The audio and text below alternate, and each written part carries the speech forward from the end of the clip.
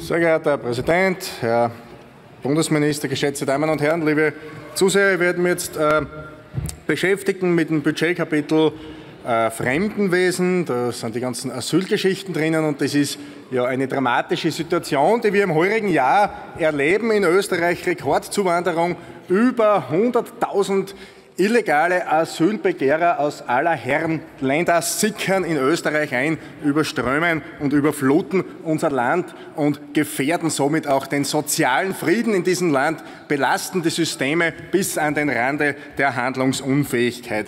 Und wir haben einen Innenminister, der nichts dagegen macht nämlich absolut gar nichts. Karner hat seit seinem Amtsantritt keinen einzigen illegalen Grenzübertritt in Österreich verhindert. Na, Kollege Stocker, sparen Sie sich Ihre unqualifizierten, äh, geradezu dümmlichen Zwischenrufe und vergleichen Sie die Asylzahlen in der Amtszeit von Herbert Kickl als Innenminister und unter Karner oder auch unter Nehammer. Also sparen Sie sich das und verkaufen Sie die Menschen nicht für blöd.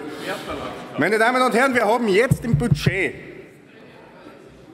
für das Jahr 2023 für das Fremdenwesen über eine Milliarde Euro veranschlagt. Das ist absoluter Rekord. So viel war noch nie veranschlagt für das Asylwesen. Und da muss man auch die Wahrheit sagen. Das ist ja nur die Kostengeschichte, diese Milliarde, mehr wie eine Milliarde Euro, die im Innenministerium anfällt. Aber die Migrationsbewegung schlägt sich ja nieder auf sämtliche Bereiche, auf das, Sozi auf das Sozialsystem, auf das Bildungswesen, auf das Gesundheitswesen, das massiv belastet ist, auch durch diese äh, kulturfremden Menschen aus aller Herren Ländern, die hier eigentlich gar nichts verloren haben und die rasch äh, außer Landes gebracht gehören. Meine Damen und Herren, äh, ich habe einen konkreten Antrag äh, auch mit, einen Entschließungsantrag der Abgeordneten Amesbauer und weiterer Abgeordneter. Das Ausreisezentrum findet sich auch äh, warten Sie ab, ich werde dazu kommen, betreffend 23 Maßnahmen zur Deattraktivierung Österreichs als Zielland für illegale Wirtschaftsmigranten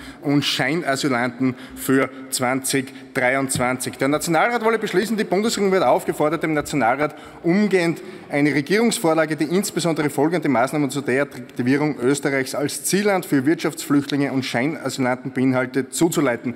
Der Entschließungsantrag wurde verteilt, liegt Ihnen auf. Ich werde ihn in den Grundzügen erläutern. Asylstopp jetzt, sofort, aus Ende. Österreich hat keinen einzigen Asylantrag einzunehmen, ganz egal, was diese Herrschaften an der Grenze erzählen, denn die meinen es nicht ehrlich mit uns, sonst wären sie auch nicht illegal eingereist. Ermöglichen von Pushbacks, na sofort, ich rede mir den Mund wasserig, immer wieder fordern wir das. Und da muss ich mich sowohl vom Innenminister als auch vom Kollegen Bürstmer immer wieder sagen lassen, wir verstoßen äh, gegen diese Forderungen, gegen das Unionsrecht, gegen äh, die Menschenrechte, sogar einen Verstoß gegen die Verfassung wird uns vorgeworfen. Ja, Kollegen, na und? Ja und? Ja und?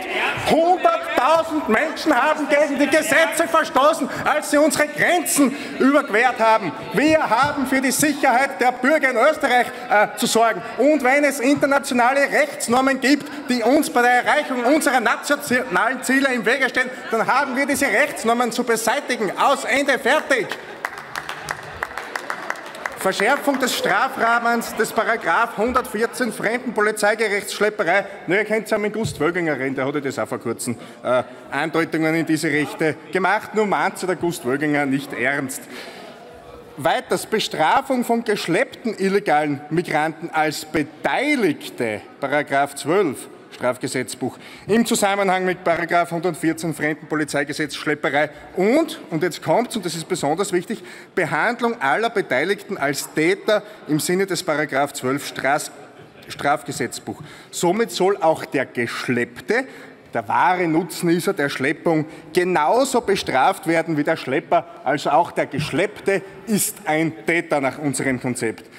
Einführung eines Delikts des Asylbetrugs, dass wir die Menschen so schnell wie möglich wieder loswerden, dass jeder Asylbetrüger, der uns belügt, der falsche Angaben macht, auch als Straftäter behandelt wird. Sofortiger Abbruch der Asylverfahren von straffälligen Asylwerbern bei jeder Form einer Straftat, Schaffung einer interkontinentalen Fluchtalternative Asyl, Wiedereinführung von Ausreisezentren, Herr Kollege Stocker, das haben Sie ja vorher angesprochen. Natürlich, das ist Symbolpolitik, aber in der Asylpolitik ist Symbolpolitik wichtig. Wir müssen diesen Ländern diesen Menschen aus aller Herren Ländern sagen, ihr habt keine Chance bei uns, wir schicken euch wieder zurück restriktive Handhabung der sogenannten Familienzusammenführungen. Auch da müssen wir was tun. Keine Familienzusammenführung mehr bei unbegleiteten Minderjährigen, sogenannten Ankerkindern sowie für subsidiär Schutzberechtigte. Jährliche Überprüfung der Aktualität der Fluchtgründe von Asylberechtigten, BFA, wir wissen, das passiert überhaupt nichts. Übernahme des dänischen Modells Asylzentren, in denen die Asylwerber die Bearbeitung ihrer Asylanträge abzuwarten haben, in Drittländern in Afrika zu richten. Kana war in Dänemark, äh, Nehammer war in Dänemark, Sie haben alle gesagt, das ist gut, das wollen Sie auch. Niemand hat was gemacht. Jetzt komme ich zu den neuen Punkten unseres Antrages. Wir haben das schon mehrmals äh, ein, eingebracht.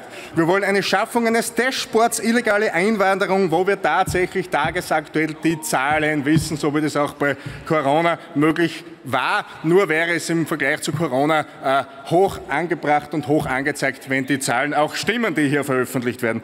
Durchführung einer Volksbefragung über den Kampf gegen die illegale Einwanderung und den Asylmissbrauch sowie für einen Asylstopp, echten Grenzschutz und kompromisslose Abschiebungen. Wenn das Volk dem zustimmt, dann hat sich die Frage auch mit den internationalen Konventionen erledigt. Schaffung von Transparenz und Kostenwahrheit über die fiskalische Wirkung. Wir reden ja äh, über das Budget der Zuwanderung nach Österreich und die sich daraus ergebenden Belastungen quer durch alle Ressorts, wie zum Beispiel für das Sozialsystem, Gesundheitssystem oder Bildungssystem. Was haben die illegalen Wirtschaftsmigranten die österreichischen Steuerzahler bisher gekostet und was werden sie noch kosten? Wäre schön, das einmal überhaupt zu wissen, die Gesamtkosten des Asylwahnsinns. Die Kostenwahrheit muss im Zuge des Bundesrechnungsabschlusses detailliert vorgelegt werden. Meine Damen und Herren, vor allem die Damen und Herren der ÖVP, wenn Sie es mit der Asylpolitik, mit der angeblich so restriktiven, die Sie so folgen, ernst nehmen, haben Sie gleich keine andere Möglichkeit, als diesem Antrag ewig äh, äh zuzustimmen. Besonders vom August Wöginger setze ich das voraus.